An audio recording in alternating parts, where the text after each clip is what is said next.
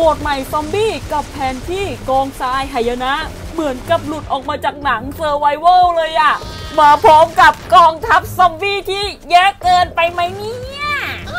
และการกลับมาของบอสที่ใครหลายๆ คนคิดถึงไอ้ย ไม่ใช่แก ไอ้คนขายหมูไอ้ยน้ำของเขาก็คือ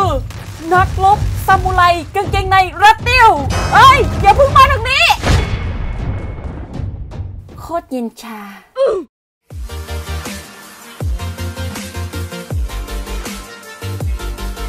สวัสดีเพื่อนๆ ชาว Garena Free Fire ทุกคนนะคะ อยากฟังเรื่องเมาส์มอย ก็มาดูช่องเมาส์มินค่ะแม่มาไอกีน้องๆ หลายคนนี่จะเปิดเทอมอยู่แล้วนะเนี่ย แล้วก็ผ่านมานานมากนะคะสำหรับการอัปเดต patch ใหม่ แต่ก็ยังมีผู้ติดตามหลายคนอยากให้มินรีวิวโหมดซอมบี้ที่เพิ่งเข้ามาด้วยค่ะ ก็ถือซะว่าเป็นการจารึกประวัติศาสตร์แล้วกันค่ะว่าใน patch เนี้ยมันมีการอัปเดตอะไรเพิ่มเข้ามา ไหนๆก็ซื้อชุดใหม่มาแล้วก็ใส่เอามารีวิวด้วยเลยแล้วกัน ซึ่งชุดนี้ชื่อว่าฮิปฮอปออร่านะคะ ตอนนั้นมินหมุนไปประมาณ 1,500 เพชรหรือประมาณเกือบ 500 บาทนะ แต่ก็แค่เอาชุดกับท่าทางนะคะ ไม่ได้เอา sniper มาด้วย ก็ลองมาดูกันสิว่าชุดออร่าของมันเนี่ย พอมาอยู่ในโหมดซอมบี้ที่มืดๆ จะยังสวยงามอยู่ไหม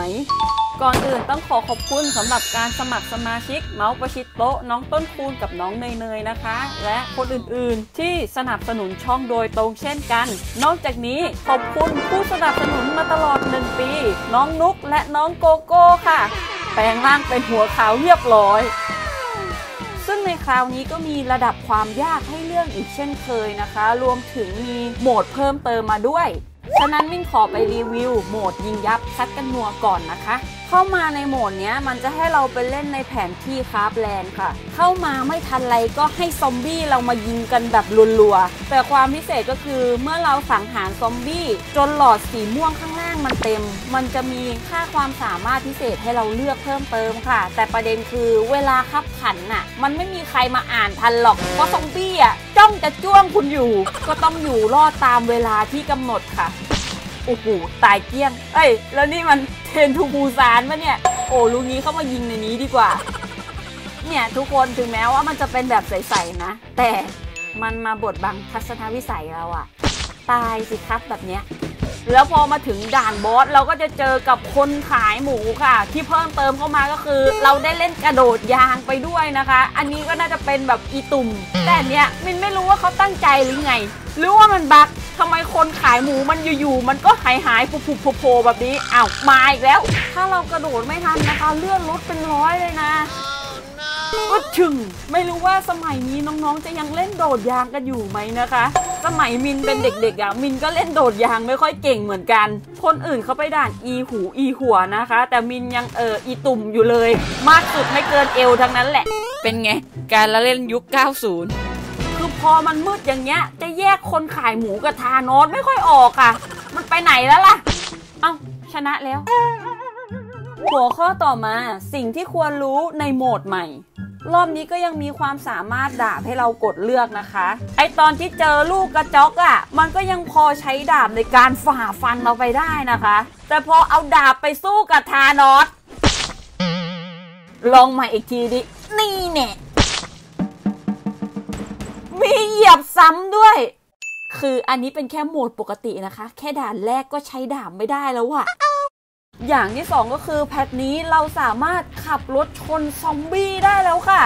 กระเด็นเมี้ยนหมากันเลยทีเดียว แต่อย่างนี้ซอมบี้ก็สามารถโจมตีเราได้นะคะ ถึงแม้เราจะอยู่ในรถอะ และในด่านนี้เราจะพบกับแท่นดูดพลังค่ะ เราจะไม่สามารถใช้ทักษะของตัวละครได้ อารมณ์เหมือนโดน A124 ยิงมาค่ะ นอกจากนี้ถ้าหากเราเข้าไปใกล้มันนะเลือดเราจะลดด้วยนะคะ ตอนแรกมินนึกว่ามันจะเพิ่มพลังให้เราซะอีกอย่างที่ 4 อันนี้สำคัญมากค่ะ เราต้องวิ่งเข้า checkpoint ด้วย โดยสัญลักษณ์มันจะเป็นรูปธงค่ะ คือต้องคอยอ่านคำสั่งมันดีๆ ค่ะ ว่าเราต้องเข้า checkpoint หรือเราต้องรอจนกว่าประตูจะเปิด ซึ่งข้อความตรงนี้มันเล็กมากค่ะ มินคิดว่ามันควรจะขยายอยู่กลางหน้าจอไปเลย เพราะถ้าหากเราไม่เข้า checkpoint นะคะ เราจะต้องสู้กับซอมบี้ไปเรื่อยๆอะ อันนี้มินสารภาพตามตรงเลย เล่นรอบแรกมินไม่รู้ค่ะและถึงแม้กว่าจะรู้ตัวก็คือ ฝูงซอมบี้อะมันจะดันไม่ให้เราเข้าสู่ checkpoint ง่าย ๆ ค่ะ และอันเนี้ยบอกหลายทีแล้วค่ะเวลาตั้งป้อมปืนอะอย่าเอามาขวางทางเดินสิแปะไว้ตรงกำแพงก็ได้ Okay. และสิ่งที่เพิ่มเข้ามาครั้งนี้มินชอบมากๆก็คือ item เสริมที่ทำให้เราสามารถถือปืนคู่ได้ค่ะ แนะนำว่าเป็นปืนประเภทเดียวกันดีกว่านะคะ อันเนี้ยมินใช้ AR กับลูกซอง แล้วกลายเป็นว่ากระสุนมันหมดไม่พร้อมกันค่ะ ซึ่งนั่นก็หมายความว่ามินจะต้องกด reload กระสุนบ่อยมาก คือถ้าจะเล่นลูกซองก็เอาแต่ลูกซองสองกระบอกไปดีกว่าค่ะ แล้วก็สิ่งที่ยังเหมือนเดิมก็คือถ้าหากเหลือคนเดียวแล้วห้ามตายเด็ดขาดนะคะไม่งั้นจบเกมรอหน้าล็อบบี้ใหม่เหมือนเดิมเลยเอ้ยรอเพื่อน cooldown ชุบชีวิตค่ะ โอเค มีเพื่อนเกิดมาแล้วคนหนึ่งอะทีนี้เราห้าวได้แล้วค่ะ จริงๆ มันมีโทเค็นชุบชีวิตนะคะ แต่มันจะมีการจำกัดแต่ละวันไว้ ภาพรวมอะมินชอบการออกแบบด่านของเขาที่มีจุด checkpoint มากค่ะ มันไม่ค่อยน่าเบื่อถ้าลองเทียบกับไปเล่นในโกดังหมาป่านะ และในด่านเนี้ยเล่นด้านล่างง่ายกว่าค่ะ เพราะด้านบนมันจะมีคนขายหมูมาขัดขวางเราด้วย แล้วก็อย่าลืมเข้า checkpoint กันด้วยค่ะ อันนี้จะเห็นได้ว่าเพื่อนในทีมหลายๆคนไม่รู้นะ แล้วก็ทุกๆ ครั้งที่จบเกมนะคะ เราจะได้โทเค็นมา up ความสามารถได้ค่ะ อย่างเช่น ป้องกันค่าโล่เพิ่มความเร็ว เพิ่มความเสียหายต่อซอมบี้ เพิ่มเกราะหรือแม้กระทั่งเพิ่มเลือดค่ะและนอกจากนี้เหรียญของซอมบี้สามารถนำมาซื้อ skin ปืน รวมถึงท่าทางซอมบี้อันใหม่ด้วยค่ะ เป็นไงเหม็นไหมมา ครั้งนี้มินจะมาลองเล่นด่านยากกันค่ะ โหลดเข้าด่านมาถ้าหากมันให้เลือกทักษะแล้วมีกระสุนไม่จำกัดนะคะ ให้ทุกคนกดเลือกแบบไม่ต้องลังเลเลยค่ะ ซอมบี้ครั้งนี้เยอะมากจริง ๆ ส่วนอีกอันมินเลือกฟื้นฟูค่า HP ค่ะ ในด่านยากนะคะ มินแนะนำให้ทุกคนใช้ปืนดีกว่าใช้ดาบนะแหมแล้วเหมือนเพื่อนๆจะไปขึ้นบิ๊กฟุตกันหมดแล้วนะ เอ้ย รอมินก่อนดินี่แล้วอยากจะบอกในด่านเนี้ย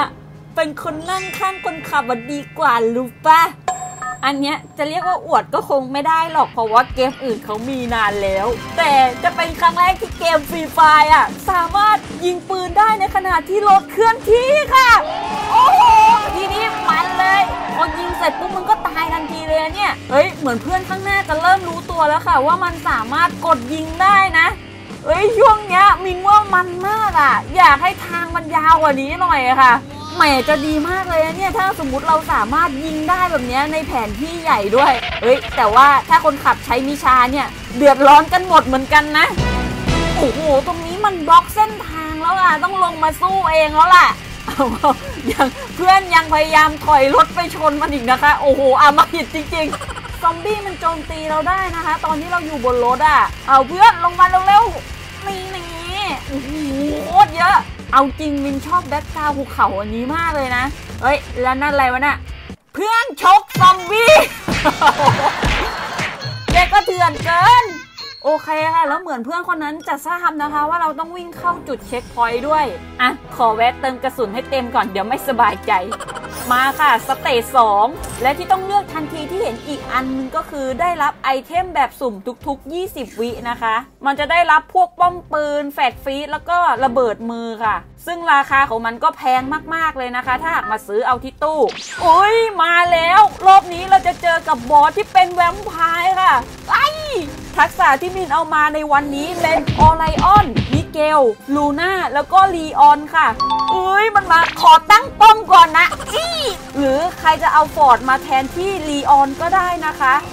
มินคิดว่ามันเป็น combo ที่ดีที่สุดสำหรับการเล่นด่านซอมบี้เลยค่ะเพราะทุกคนดู ซอมบี้โคตร เยอะเลยรอบนี้ พยายามเล็งที่หัวซอมบี้เข้าไว้ ขอตั้งป้อมก่อนนี่พยายามตั้งแบบตรงขอบๆนะคะ จะได้ไม่ขวางทางเดิน เออขอบแล้วใช่ไหมโอ้โหมารัวๆมารัวๆมินคิดว่าเขาเพิ่มฝูงจำนวนซอมบี้เยอะเกินไปไหมไอ้ยเดี๋ยวเดี๋ยวเดี๋ยวเดี๋ยวเฮ้ยแวมไพร์มันหายตัวได้ด้วยค่ะทุกคน ไปไหนแล้วอะน่ากลัวโคตรโอ้โหตอนนี้คิวซอมบี้ได้รัวๆเลยค่ะ จะแบบ 300 ตัวอยู่แล้ว อยู่รอดอีก 10 วิเท่านั้นค่ะอุ้ยนี่ขนาดสเตจสองเนี่ย จะเยอะไปไหมสี่สามสองศัตรูจะมาใหม่อะไร หมดเวลาแล้ว นี่แล้วพอเราสะสมได้เงินหมื่นหนึ่งเมื่อไหร่นะคะ เรามาแลก item ปืนคู่ก่อนเลย เข้าสู่ stage 3ค่ะ โอ้โห แต่จากตัวเลือกที่มีนะคะ เพิ่มอัตรายิง แล้วก็ล่อศัตรูมาที่ป้อมค่ะ ตาไหนที่สุ่มไม่เจอกระสุนไม่จำกัดเนี่ยจะร้องไห้เลยนะคะ คือต้องไปยืนข้างๆกล่องเติมกระสุนอย่างเดียวเลยอะค่ะเออแล้วก็เวลาจะกดชิป up ปืนเนี่ยต้องถือปืนแยกมาอันนึงก่อนนะคะ แล้วค่อยกด up จากนั้นค่อยเอามาใช้ปืนคู่เหมือนเดิมโอ้โหพอเป็น stage สามนะคะ ธานอสจะมาเยอะขึ้นมากๆค่ะ เออเดี๋ยวเดี๋ยวเดี๋ยวคนขายหมูมันโผล่ขึ้นมาได้ไงเนี่ย cooldown นับถอยหลังค่ะ checkpoint ต่อไปกำลังจะเปิดแล้ว มันเล็งมินอยู่นี่หว่า ถ้ามันมีโอไรออนเมื่อกี้คือแบบตายไปหลายรอบแล้วนะคะเฮ้ยตอนนี้ไม่รู้ว่ามีเพื่อนเข้าไปใน checkpoint หรือยังอะไม่งั้นเราต้องสู้กับซอมบี้ 9 นาทีกว่าๆเลยนะคะเฮ้ยเฮ้ยเฮ้ยไอคนขายหมูเล็งมาอีกแล้วเฮ้ยเพื่อนช่วยมาเข้า checkpoint ทีแตะหน่อย เอ้ยเดี๋ยวเดี๋ยวนักรบซามูไรมันขึ้นมาแจมค่ะ ปกตินางจะเฝ้าอยู่ทางด้านหน้าประตูเส้นชัยนะคะเอ้ยเหมือนเพื่อนเบอร์สี่กำลังพยายามเข้า checkpoint อยู่นะคะ ดีมากเพื่อนโอ้โหตายตายตายทั้งซามูไรทั้งคนขายหมูทั้งทานอสตอนนี้เพื่อนเข้าเช็คพอยต์ไปแล้วนะคะ ต้องอยู่รอดจนกว่าประตูเส้นชัยจะเปิดนะ ประมาณเกือบ 3 นาทีอะ คือไม่ค่อยชอบทานอสเลยอะมันมีโล่กำบังไง จริง ๆ ยิงหัวมันก็ได้ค่ะ แต่สังเกตไหมมันจะเอาโล่มากันก่อนหัวทุกทีโอ้โหแล้วดูดิคือมันก็ตายยากอยู่แล้ว เราต้องมาเจอซอมบี้ตัวอื่นๆอีกตายตายตายอุ้ยอู้เดี๋ยวเดี๋ยวเดี๋ยวซามูไรอยู่ข้างเตาขนาดนี้เลยเนี่ยเพื่อนเกิดพอดี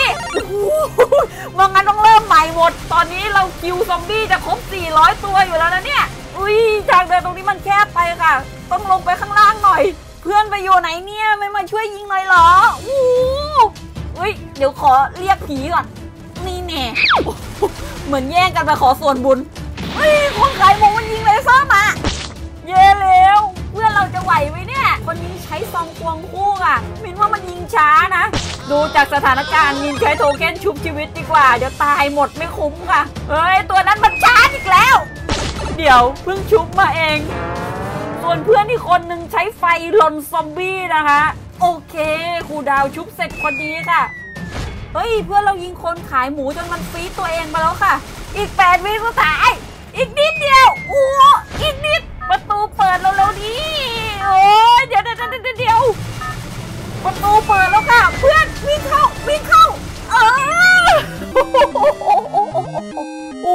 คดีที่เพื่อนเบอร์สี่รู้นะคะว่าต้องเข้าเช็คพอยต์อะ เฮ้ย ถือว่าด่านซอมบี้อันใหม่อันเนี้ยสนุกมากนะคะโอ้โหแล้วทุกคนลองดูดิ คิวรวมๆกัน ซอมบี้จะ 1,000 ตัวอยู่แล้วอะเฮ้ย แต่บอกเลยว่ารอบนี้เขาออกแบบด่านมาได้ดีขึ้นมากๆค่ะ เหมือนเราได้ร่วมเดินทางไปปราบซอมบี้จริง ๆ ดีกว่าอยู่ในแค่โกดังนะคะ หรือแค่ที่แคบๆเฉยๆ แต่คือมินไม่มั่นใจว่ารอบนี้ซอมบี้มันเยอะเกินไปหรือเปล่ามันเลยทำให้เราไม่ได้โฟกัสไปยังตัวบอสสักเท่าไหร่ค่ะ และที่สำคัญข้อความการเข้าเช็คพอยต์ควรจะใหญ่กว่านี้ค่ะ เพราะบางทีวิ่งมาถึงหน้าประตูแล้ว ประตูมันยังไม่เปิด คือสำหรับมินอะบอสซามูไรมันดูน่ากลัวที่สุดค่ะ แต่แทนที่มันจะทำให้เราโฟกัสกับตัวบอสอะกลายเป็นเราต้องไปสู้กับพวกลูกกระจอกซะมากกว่า มันหวงถิ่นมันมากคือมันดักหน้าประตูอย่างกับประตูเงินประตูทอง เป็นเจ้าที่สิงอยู่ตรงนี้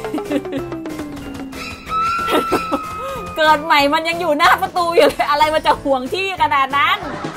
จนจบคลิป ทันได้สังเกตชุดที่ใส่วันนี้ไหม สุดท้ายก็คือมืดไม่ต่างกันค่ะ มีแค่เอฟเฟกต์ที่มันลอยมาทางด้านหลังอะที่ยังพอเห็นชัดอยู่ ถ้าหากชอบคลิปนี้ก็อย่าลืมกดติดตามด้วยนะคะสำหรับวันนี้ขอตัวลาไปก่อน ขอบคุณที่ดูกันจนจบคลิปพบกันใหม่คลิปหน้า สวัสดีค่ะ